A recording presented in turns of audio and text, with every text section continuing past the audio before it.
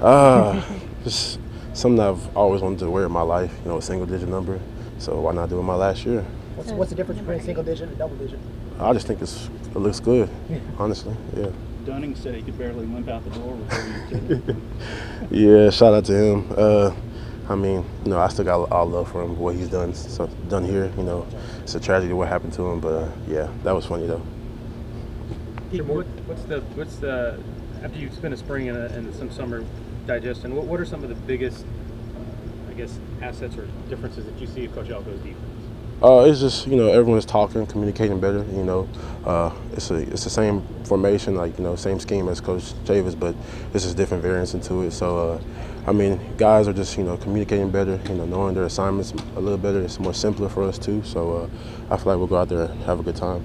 How important is the tempo at practice for, for everyone to be on that same page and to rise to that level?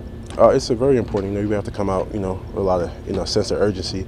Uh, get ready to attack every day because you know you can't have no missed days, man. In this league, you got to compete every, at every day at every level, and I just got to go higher every day. What's it like having Donovan back in preseason? Amazing, amazing. You know, having a player like that who can who could tackle, cover, you know, plays fast, plays with you know a lot of passion. A guy like him that can be a leader back there for us too. Uh, it's uh, it's amazing to have him back. You know, how, how was that kind of an underrated loss that a lot of people didn't talk about that, that y'all didn't Big have Donovan all last year? Big time. Big time. You know, how, how, how much of a void was there when he wasn't on the field last fall? Uh, you know, I don't know why people weren't really, weren't really talking about it, but you know, he's a big time player. You know, having him back there, like I said, can, can help us a lot, and uh, you're gonna see the season. Did going to SEC media days kind of help you get a little bit more mentally prepared leading up to this first practice as opposed to other years?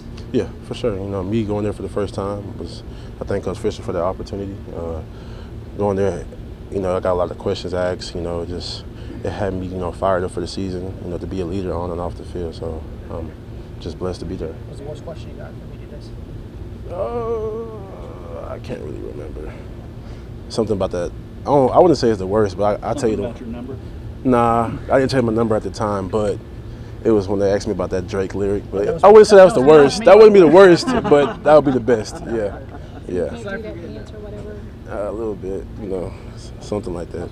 Aside from get a, a new coaching staff in DC and all that, you Yeah. a lot of guys back on your side of the ball, but Yeah. you look at how last year ended, I know, you see how many points you gave up in the last couple games that didn't Mhm. set well with you guys. Aside from having new Elko coming in, what needs to change and what's the mentality of your defense? You know, just everyone is coming to every day. You know, be it, you know, pay attention to detail, the little things. You know, because you know sometimes you know guys overlook things. You know, on the defense they you know don't pay attention, but you come every day. You know, stay focused to your key and your assignments. You know, you can take it to take it to where you want to go. feel like you guys can have a top five defense, top four defense in the SEC? For sure. Who's the Coach guy- McGuire brought to, to this defense and in that defensive line room? Say it again. McGuire, Coach McGuire. Oh yeah, yeah. He's brought a lot. You know, talking to him. You know, you know he wants me to be a leader and everything. You know, just you know, especially for the young guys who come in this first day. You know, teaching them the little things. Just just be a leader and play fast. Really. What are some of those little things? That's the second time we've heard you say that. hmm Uh, it's just, you know, like taking care of your body. You know, watching film outside of here, stuff like that, and just going over what teams like to do, what you could get. You know, certain things in a certain position. So, uh, just those type of things.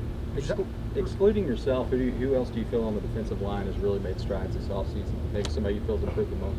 improved the most. You know, everyone's been working really hard. Honestly, uh, pretty much that's that's how I can say everyone's been really working hard. You know, guys were getting in better shape since they've been here. So yeah, I wouldn't be surprised if everyone could contributes. Did you talk to Daylon about switching numbers? Did you Uh, ask him why he switched numbers? uh, nah, he went back to his high school number. Yeah, Wait, that's what's why. his number now? Uh, 34. 34. So he's okay. So are you the only single digit guy in the line? There's all kinds of No, there's all kinds. Yeah, What's the why did big defensive linemen decide to do that? I think it just looks good. Really, Looks it's some, something like that. Yeah, yeah. What are your first impressions from Diallo? Big, big guy, big strong guy. You know, he just he coming from JUCO. He's got to learn how to play in this league. You know, play with good technique and stuff like that. So we'll get him right for sure. How much of a learning curve is that to go from JUCO? Because I think Clemens had to deal with that a little bit last year. I mean, how, how much of a jump is that to go from JUCO into? You know, it's it's a it's a big jump. You know, just playing this league. You know, you got to play with really good technique. You know, you got to learn certain things that you know you don't learn from JUCO. So coming here is a it's a big jump for sure. The first college polls came out today, and Alabama's one, Clemson's two, and they're two of your first four opponents. Mhm. Opportunity or challenge? Uh, another game for us. Another game for us. Opportunity, challenge. I don't, I don't, I don't really care what it is. It's just again another game for us, honestly.